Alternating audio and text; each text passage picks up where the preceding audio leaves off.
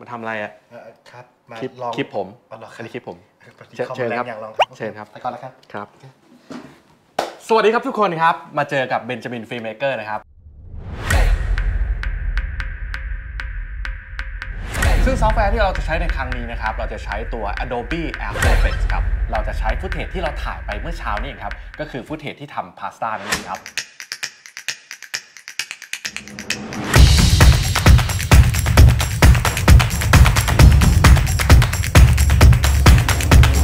ซึ่งเป็นที่รู้กันแน่นอนอยู่แล้วครับว่าการทำ After Effects นะครับหรือว่าการใช้ VFX ช่วยในการทำงานวิดีโอเนี่ยจะช่วยเพิ่ม value นะครับให้กับงานของเราได้เลยนะครับ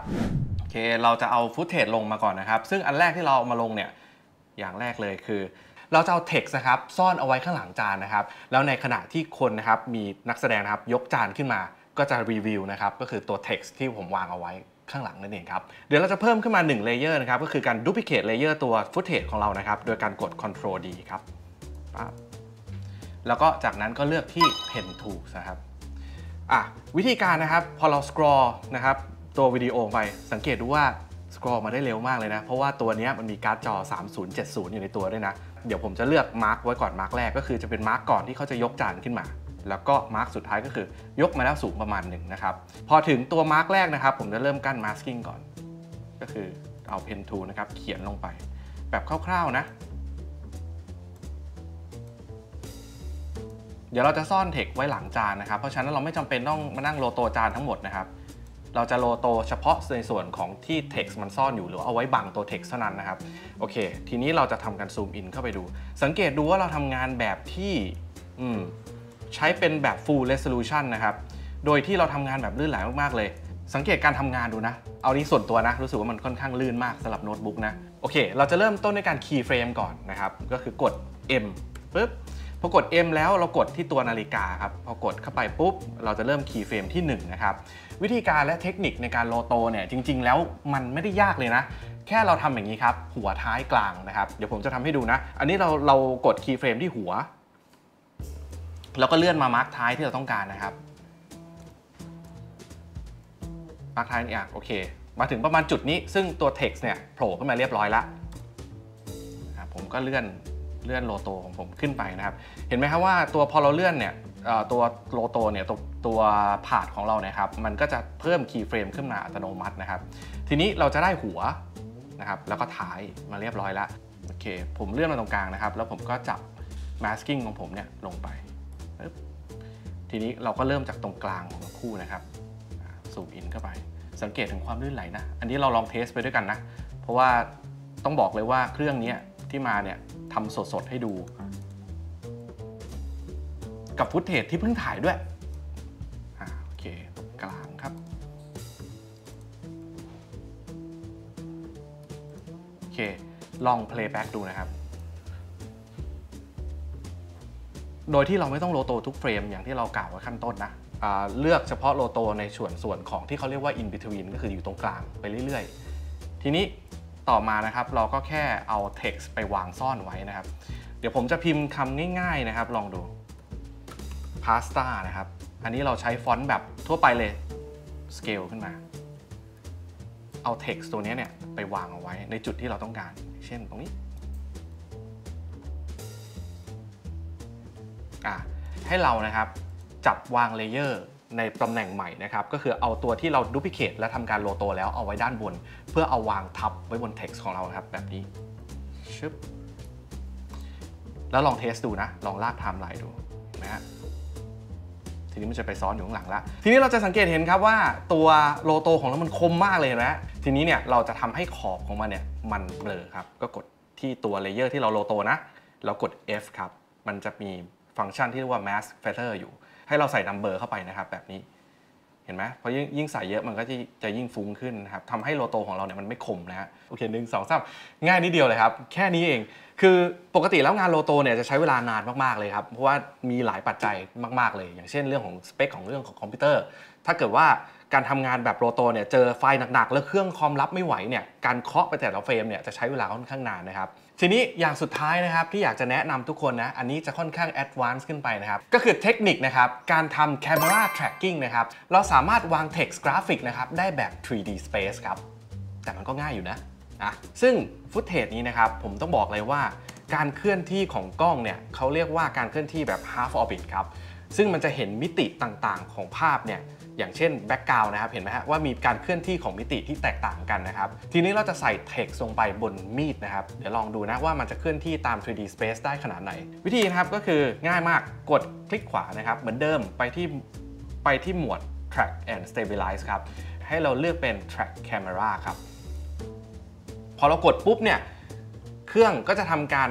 คอมพิวต์นะครับทำการคำนวณทั้งหมดนะครับการเคลื่อนที่ของพิกเซลที่อยู่ในภาพนะครับ แปลงออกมาเป็นระยะนะครับ แล้วก็สร้างกล้องขึ้นมาใหม่ ในขณะที่พูดเนี่ยคือมันเสร็จแล้วอะ่ะ คือมันเร็วมาก แล้วก็พอเราพอเราทำการกด track เรียบร้อยแล้วเนี่ย เราก็จะได้ค่า track info ขึ้นมาแบบนี้ครับ พอเราได้ค่า track info เนี่ย เราลองเอาเมาส์ไปลากดูครับ เราจะมองเห็นเลยครับว่ามิติต่างๆ ที่มันสามารถเอา text ไปวางได้เนี่ย เยอะแยะไปหมดเลย แต่สิ่งที่เราต้องการนะครับ เราต้องการที่จะไปวางตรงมีดนะครับ เพราะฉะนั้นเราจะไปหาจุด track ที่สุดสามารถ track ได้ตรงมีดแบบนี้ครับ กด คลิกหนึ่งครั้งนะครับ แล้วกดคลิกขวาทีหนึ่งทีนี้เราใช้อันแรกเลยครับ create text and camera ครับ กดเข้าไปโป๊ะเราก็จะได้ตัว text มาพร้อมกับกล้องที่เป็นกล้อง 3D นะครับอลอง playback ดูนะครับ test ดู นี่ ลักษณะจะเป็นแบบนี้ เห็นไหมฮะ ให้เราทำการ reposition ตัว text ใหม่นะครับ อ่าผมจะทำการ rotate นะครับ ซึ่งตอนนี้มันจะถูกเปลี่ยนมาเป็น 3D layer ขึ้นมาแล้ว เราจะสามารถปรับแกนต่างๆ ได้นะครับ ก็คือแกน x y แล้วก็ z ครับ ทีนี้ผมจะปรับให้ text มันตั้งขึ้นนะครับ แล้วเดี๋ยวจะลดขนาดมันลง ลดขนาดไปทีนี้ก็ได้ปึ๊บแล้วก็ทำการ rotate นะครับ เพื่อให้เข้า perspective ครับ มีการเลื่อนตัวแกน x y z มา ให้ได้ position ที่เราต้องการ ทีนี้ลอง playback ดู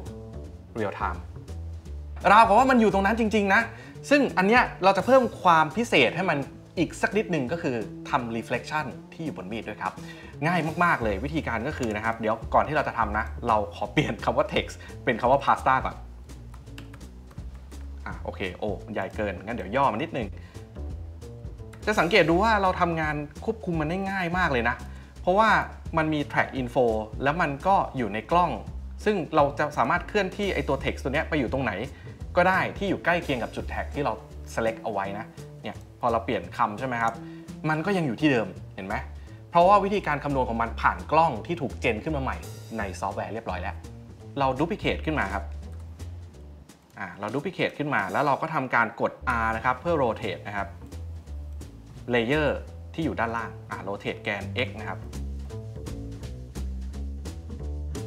เราจะทำการตกแต่งมันนะครับ ด้วยวิธีการง่ายๆนะครับ อย่างแรกเลยก็คือให้กด T ครับก็คือ opacity นะครับ เราจะลด opacity มันลงนะครับ ไม่ให้มันคมจนเกินไปนะ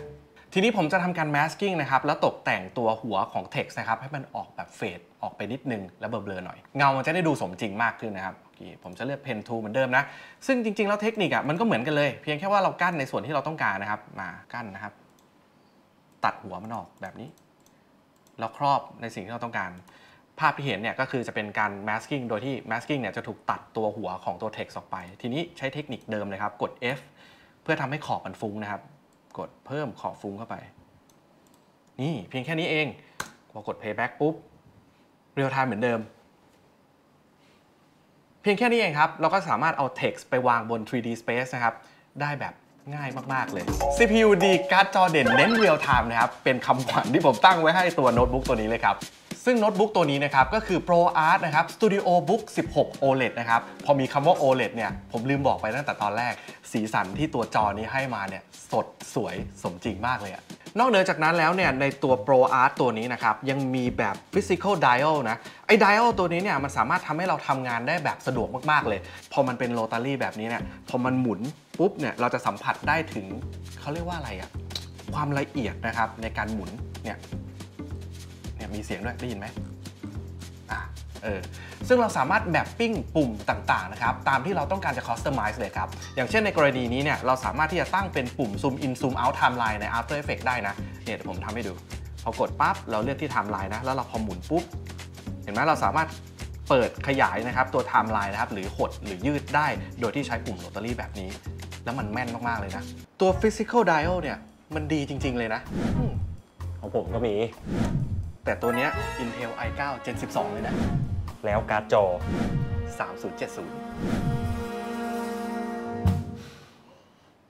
ส่วนเรื่องของราคาเนี่ย เริ่มต้นที่ 89,990 บาทครับ ยังมีทิวทอเรียลดี ๆ นะครับ จาก ASUS ให้ติดตามอีกตั้งหลายคลิปเลยนะ ยังไงอย่าลืมติดตามกันนะครับ แล้วเจอกันใหม่คลิปหน้า สวัสดีครับ แต่เรื่องจริงเรื่องจริง โอเค ใช้ได้นะ